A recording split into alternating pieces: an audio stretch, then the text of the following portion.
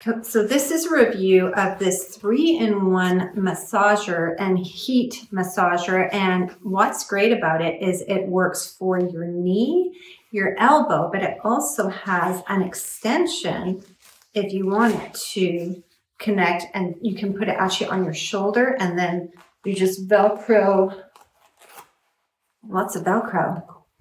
You just Velcro this, put it around your back, and then it Velcros right to the other side. But um, yeah, it's USB charge and it works quite well.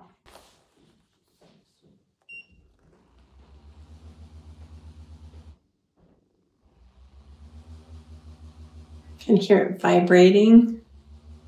And now I'm going to add some heat. So it's making it hotter every time I press this button. So me see what happens if I press this again. It changed the vibration frequency. You can hear it's vibrating a little quicker now.